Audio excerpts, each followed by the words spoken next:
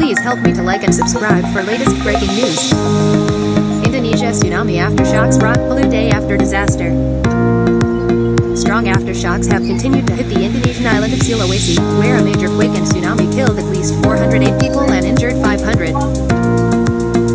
Dozens remain missing, some thought to be trapped in the debris of collapsed buildings in the city of Palu.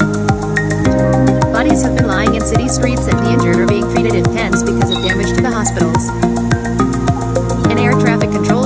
Palu Airport died ensuring plane took off safely after Friday's quake. The scale of casualties and damage beyond the city is still unclear.